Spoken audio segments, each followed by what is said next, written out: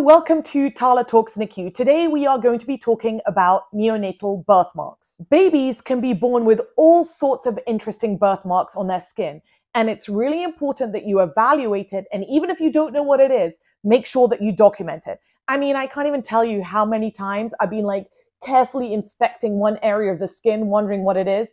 And then somebody comes over and they're like, oh, that's just a drop of blood or something. So whatever it is, make sure that it's carefully inspected and carefully documented. Let's start by talking about stork bites or angel kisses, which you've all seen on newborn babies. Basically what they are is just pale pink or red dilated capillaries. So they're macular birthmarks, which means that a macule is that you can't feel it. If you close your eyes, then it's flat with the skin. Usually we see these on the eyelids, on the nose, and on the nape of the neck, so like right below the hairline. Normally these birthmarks blanch, which means that if you press down on them, then they'll go white. And normally these birthmarks are a lot more visible when the babies are crying, and normally they kind of go away altogether by the time the babies are two or three years old completely benign birthmarks. Another really common birthmark is something that we used to call Mongolian spots. Now, more recently and more appropriately, they're called congenital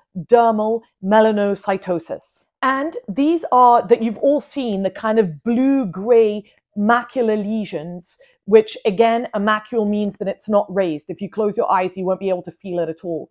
But these are blue gray lesions, which are kind of not very well defined. Most commonly, they're on the sacral area or the lower back area, but they can be everywhere. They can be on the trunk and the limbs as well. And sometimes they can almost look like there's bruising. So again, make sure that you document these, however common they are.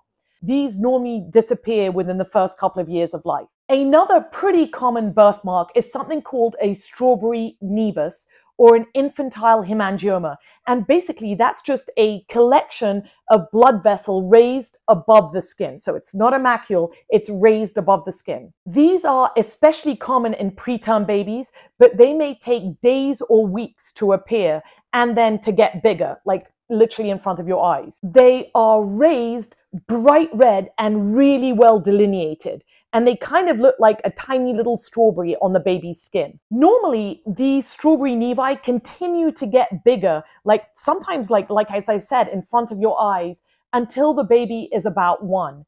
Then they kind of like stay about the same size and start to regress eventually until they go away completely by the time the baby, the kid really at that point is about 10. Sometimes these birthmarks are actually on the face. And if they are near the mouth or the nose or the eyes and they're actually affecting function, then we may choose to treat them because we don't want the babies to be scarred for life. So we may choose to give the babies propranolol, which is a beta blocker, which is extremely effective at reducing the size of the strawberry nevus. Port wine stains are another type of birthmark. These are also called nevus flammeus. And as opposed to the three remaining birthmarks that we talked about, these don't go away by themselves. They also can be considered quite dangerous because they may indicate that there's an abnormality beneath the birthmark. The port wine stains are basically an abnormal collection of capillaries below the skin. And so it can look like a kind of purpley blue color below the skin. So they are flat and purpley, and unlike the other ones, they don't go away so that they can carry on getting bigger. And depending where they are on the body, they can be very disfiguring for patients. And a lot of times, as patients get older, they choose to get them lasered away. If the port wine stain is really big and like covering the face and the eye, then we're really concerned that these blood vessel abnormalities are going all the way back into the brain. This would be called Sturge-Weber syndrome. So if there is a big port wine stain covering like a significant part of the face, then we should get an MRI of the brain and make sure that it's just superficial and there's nothing anything concerning deeper going on. All right, learn all of those. You're definitely going to have to know them. You'll probably see all of them very soon in your career. So for now, thank you for being here and go on and watch the next video on the abdominal exam.